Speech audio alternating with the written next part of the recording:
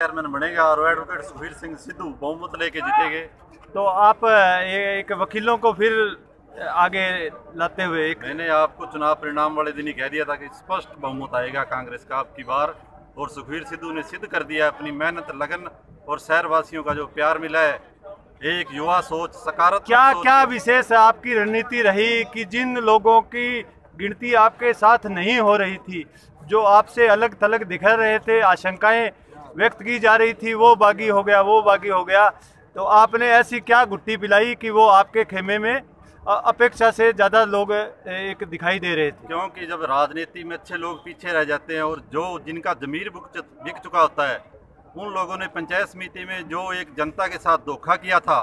आज जनता ने पूरी ने जवाब दिया है और कांग्रेस ने एकजुट होकर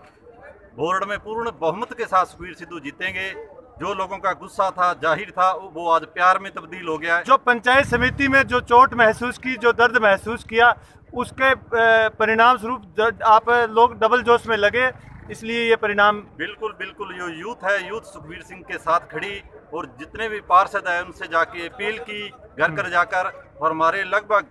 बहुत सारे एडवोकेट सुखबीर सिंह सिद्धू के पक्ष में मतदान किया। जितने युवा पार्षद थे वो भी सुखबीर सिंह सिद्धू के साथ थे। मुझे पूर्णतः पहले दिन ही विश्वास था मैंने आपको उसी दिन कहा था परिणाम के दिन कि हमारा चेयरमैन बनेगा और एडवोकेट अन्य अनुभव को प्राथमिकता मिलेगी या नई सोच को? नई सोच और साथ में अनुभव दोनों तजर्बा देखने को मिलेंगे नगर पालिका में और अच्छे विकास सीनियर एडवोकेट हेमराज गोदारा का एक साथ मिलेगा और हेमराज गोदारा ने अपना त्याग करते हुए चेयरमैन पद से सुखबीर सिंह सिद्धू और कांग्रेस की एकजुटता के साथ रहे हो जिसके पास ज़्यादा मेंबर थे। कांग्रेस पार्टी ने उसी को प्राथमिकता दी और सुखबीर सिंह सिद्धू ने सभी को जोड़ कर रखा। ये हमारी युवाओं की जीत है।